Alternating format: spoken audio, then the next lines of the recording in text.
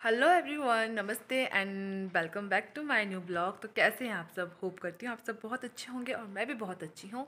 तो आज है फिफ्थ मार्च वैसे मुझे डेट याद नहीं थी, फिर मैंने याद किया कि आज जो है मेरे बेटे का फ़र्स्ट एग्ज़ाम था। तो उसका जो है एग्ज़ाम फिफ्थ मार्च को स्टार्ट होना था तो इस वजह से मुझे डेट याद रहा। तो अभी हो रहे हैं पौने पाँच पाँच बजने को दस मिनट हैं और अभी मैं ब्लॉग की स्टार्टिंग कर रही हूँ शाम के पाँच बजे से। क्योंकि इतने दिन मैं नहीं ब्लॉग बना पाई, उसकी क्या वजह थी? उसकी वजह थी कि मैं बीमार थी तो आपको पता है बीमार मैं ठीक हो गई थी, लेकिन जो खांसी थी मेरी वो ख़त्म नहीं हो रही थी। तो खांसी मतलब ज़्यादा तो नहीं थी मतलब कम कम थी, रात को ज़्यादा होती थी।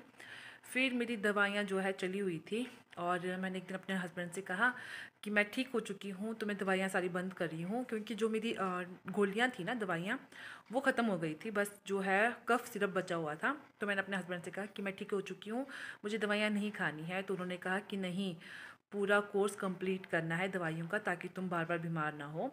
तो मैंने कहा, चलो ठीक है, दवाइयाँ खा लेते हैं। क्योंकि मुझे ना हल्की हल्की सी खांसी होती थी। कभी कभी नींद में खांसी हो जाती थी नॉन स्टॉप तो मैंने कहा, चलो दवाई ले लेती हूँ। लेकिन उसको दवा उस दवाई को लेने के बाद ना मुझे नींद बहुत आती थी। पहले जब मैं बीमार थी ना, उस समय मुझे इस बात पे ध्यान मेरा नहीं गया कि मैं उस दवाई खाने के बाद मुझे नींद ज़्यादा आती है। लेकिन जब मैं अभी एक दो दिन पहले की बात है, मैं बिल्कुल ठीक थी। मुझे हल्की हल्की सी खांसी थी, लेकिन जब मैंने वो दवाई पी ना सुबह, उसके बाद मुझे चक्कर आ रहे थे। ऐसा लग रहा था जैसे भूकंप आ रहा हो। और एक बार तो मैंने कहा भी उनको कि मुझे लग रहा है जैसे भूकंप आ रहा है और मेरे आँखों के सामने ना अंधेरा छा रहा था। और जैसे मैं उठती थी तो उसके सामने, आँखों के सामने बिल्कुल अंधेरा छा जाता था। या फिर मुझे लगता था कि पूरा घर घूम रहा है। जैसे मैंने पिछले ब्लॉग में बताया था आपको कि जब मैं पोचा दे रही थी ना पौड़ियों में, तब मुझे ऐसे फील हुआ था कि मेरी आँखों के सामने अंधेरा छा रहा है, मुझे चक्कर आ रहे हैं। वो इस वजह से ही था कि दवाइयाँ मेरी बहुत स्ट्रॉन्ग थी और जो कफ सिरप वाली दवाई है, उससे मुझे जो है नींद आती है। तो रात को मैंने जो है दवाई ली थी अपनी कफ सिरप वाली। तो उसको पीने के बाद ना मुझे बहुत भयंकर वाली नींद आई और मतलब ऐसे तो मैं उठ जाती थी पौने छः बजे या छः बजे के आसपास, लेकिन आज मैं उठी हूँ पूरे सात बजे, क्योंकि मेरी ना आँखें नहीं खुल रही थी।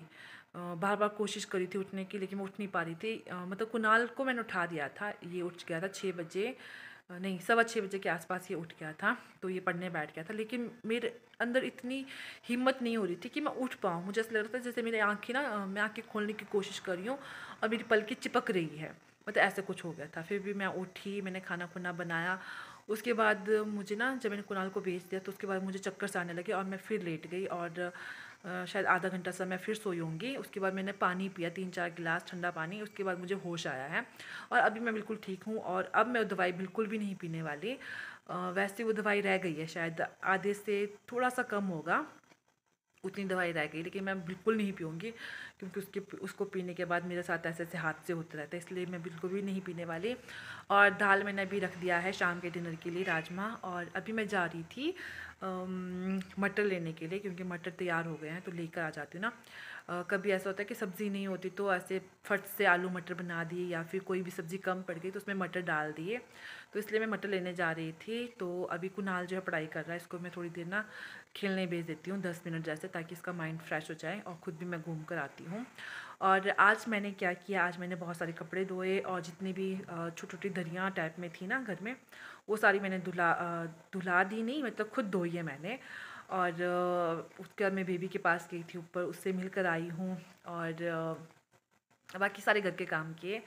तो अभी चलते हैं मटर लाने और उसके बाद बनाते हैं डिनर और उसके बाद मैं आपसे मिलती हूँ।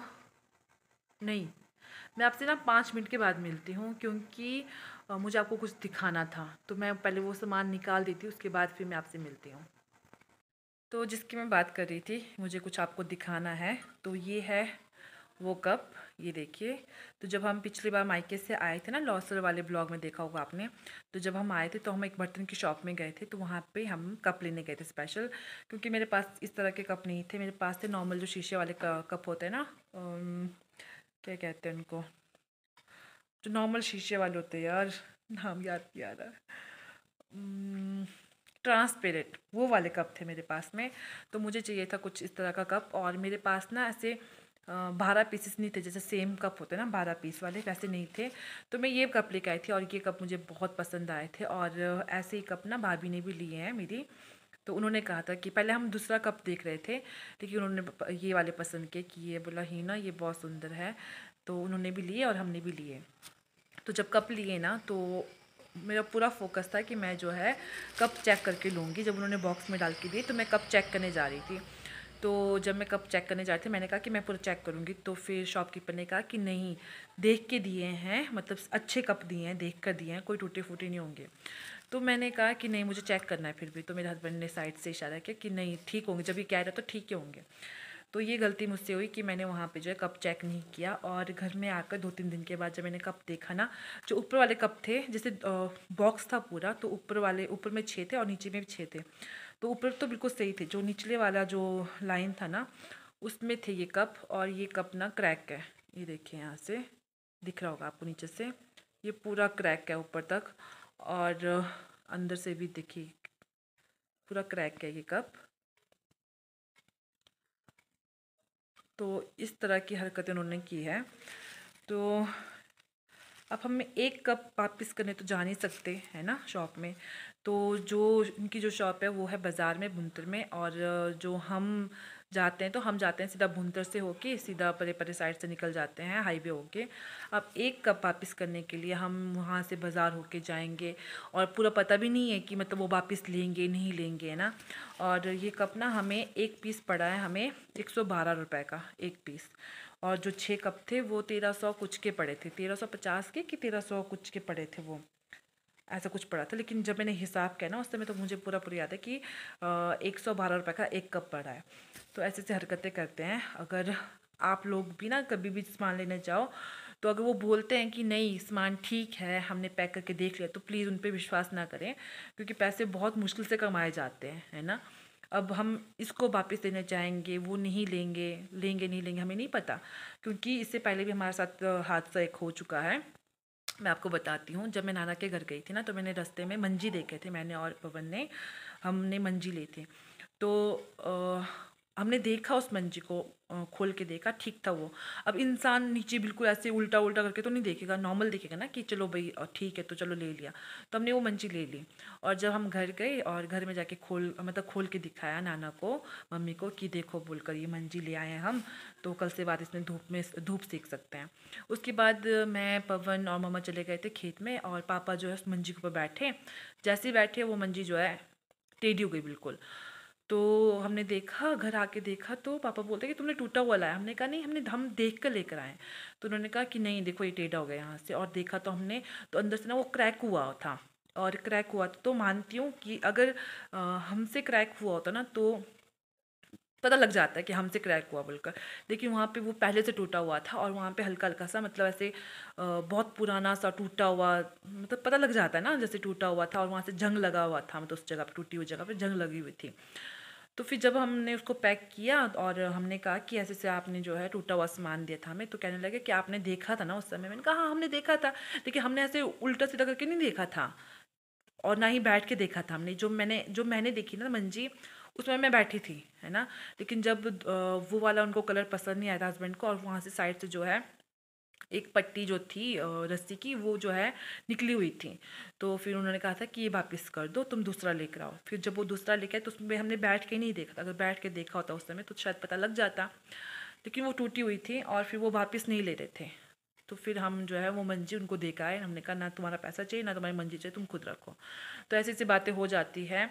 तो इसलिए आप भी जब भी कुछ सामान लेना तो देख परख कर लें और साफ़ करके लें।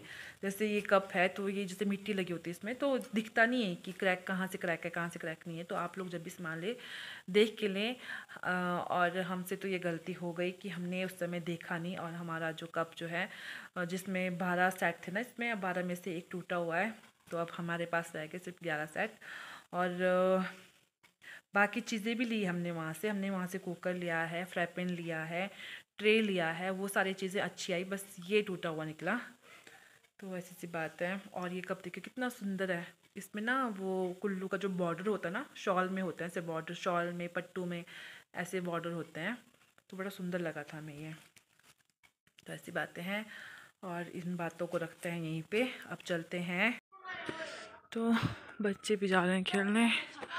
और मैं जा रही हूँ मटर लेने। देखो। ये देखो गंदे बच्चे जल्दी को वापस तो दिला आप हाई बोल दो। ब्लॉग बनाती मैं? तो मैं ना यहाँ से यहाँ जाने में थक जाती हूँ। और मैं थक चुकी हूँ। हाँ जी आगे से। और ये देखिए फूल। कितने सारे लगे हैं। और बारिश की वजह से ना इसके फूल तो सारे गिर गए देखिए बहुत और मौसम फिर से ख़राब हो गया है। इस बार तो ना तरस गए सच में धूप के लिए। फिर बारिश होने वाली है और मौसम फिर से ख़राब बताया हुआ है। देखते हैं क्या कर सकते हैं ना। जाते हैं, मटर निकालते हैं और फिर घर चलते हैं। क्योंकि गैस मैंने ऑन ही रखा है और उसके ऊपर दाल चढ़ाई हुई है। और ये मटर। फटाफट से यहाँ से मटर निकालते हैं। लो जी, थैली फुल हो गई मटर की। अब इस थैली में लहसुन और हरा धनिया भरते हैं और फिर चलते हैं घर की ओर। ये है मेरी दोनों थैली फुल लेकिन इसमें थोड़ी सी कसर बाकी है। तो अभी ऊपर वाले खेत में जाएँगे और वहाँ से भरेंगे इसमें धनिया और मूली। तो चलते हैं ऊपर। तो अभी मैं पहुँच गई हूँ घर। और शाम के हो रहे हैं साढ़े छः। और ये फूल लेकर आई थी मैं मनाली से, घर से। तो ये देखिए, इसमें ना बहुत सुंदर फूल खिलने वाला है। तो जब ये खिल जाएगा, मैं आपको दिखाऊँगी। और एक ये लेकर आई थी मैं, और एक लेकर आई थी ये। तो इसमें भी फूल जो है, आ गए हैं इसके अंदर। और ये शायद से वाइट होगा या फिर पिंक होगा, ऐसा कुछ होगा। तो ये मैं आपको बाद में दिखा दूँगी। और ये भी लेकर आई हूँ मैं। ये ये और ये वाले जो है मुझे ऊपर दीदी ने दिए थे मेरी जेठानी ने तो ये मैंने सारे अलग अलग करके लगा दिए हैं। तो जब इनमें फूल आएँगे तो मैं आपको दिखा दूँगी। और ये है शाम का व्यू। और मुझे भी ना कपड़े भी लाने ऊपर से। ऊपर जाने से पहले दाल देखते हैं कि दाल पकी या नहीं पकी। अगर नहीं पकी होगी, फिर इसमें थोड़ा सा पानी डालकर फिर से रख देंगे पकाने के लिए। तो दाल रह गया अभी थोड़ा सा कच्चा। तो पानी मैंने डाल दिया इसमें तो इसको रखते हैं अभी पकने के लिए दस पंद्रह मिनट के लिए। और अभी चलते हैं ऊपर। और ये देखिए, एकदम से तैयार हो जाता है ये। जैसे ऊपर का नाम लेते हैं। कोको, चलो ये देखिए आ गया है और ये कपड़े सारे रखे यहाँ पे। तो सारे कपड़े ले चलते हैं और कुनाल को लगाते हैं आवाज़ क्योंकि दीदी ऊपर से लस्सी देंगे। तो उसको आवाज़ लगाते हैं। अभी उठाते हैं कपड़े और बनाएँगे खाना और खाना खाएँगे और फिर सो जाएँगे। तो ये था आज का ब्लॉग। आई होप आपको आज का ब्लॉग पसंद आया हो और अगर आपको मेरे ब्लॉग पसंद आते हैं तो इसे लाइक करें, शेयर करें और मेरे चैनल को सब्सक्राइब करें। तो मिलते हैं नेक्स्ट ब्लॉग में। तब तक के लिए बाय बाय टेक केयर।